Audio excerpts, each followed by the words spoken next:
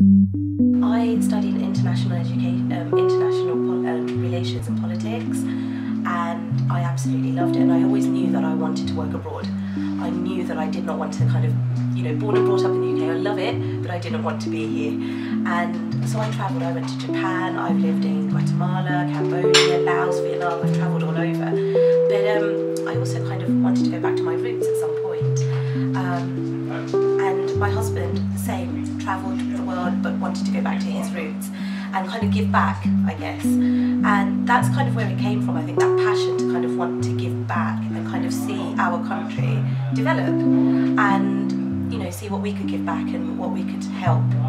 Um, there are amazing international schools, but that's not what I'm looking at. I don't want to go in to an international school where they've got all the facilities, they've got the people. So me personally, I want to go back and start.